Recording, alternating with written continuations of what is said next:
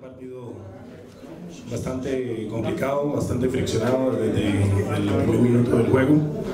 Eh, por ahí nosotros caímos un poquito en, en la confusión de, de, tratar de, de, igualarnos en ese tipo de juego y nos confundimos, pero creo que en el segundo tiempo pudimos retomar lo que hemos venido haciendo, que es tratando de, jugar al fútbol y bueno, creo que para, para nosotros y para nuestro beneficio en la segunda parte nos mostramos mejor, mejor con la pelota, tuvimos el gol, tuvimos más ocasiones, nos faltó un poquito de calma, pero era muy esperado un partido bastante fuerte como el de hoy.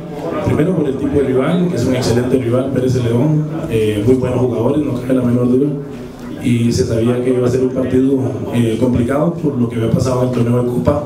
Ellos iban a salir de una manera diferente, eh, sabiendo que nosotros estamos pues tratando de, de jugar al fútbol. Sí, por acá Mauricio, Fabián Granados de Radio Actual. Dos preguntas, Mauricio. La primera, ¿este fue el partido más complicado que ha tenido el Cartaginés de los tres del torneo? Y la otra es la pregunta de Erika Balseta, porque durante toda la semana Carlos Johnson trabaja bien, se le ve que está bien, y no juega. ¿Cuál es la situación de él?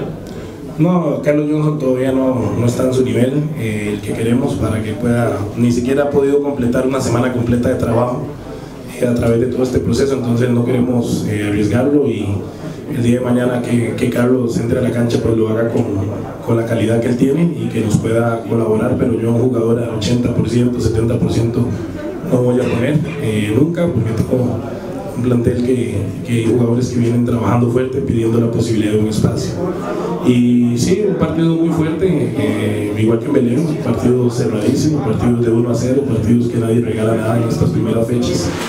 Eh, pero nos quedan eh, más partidos tan difíciles como este por delante.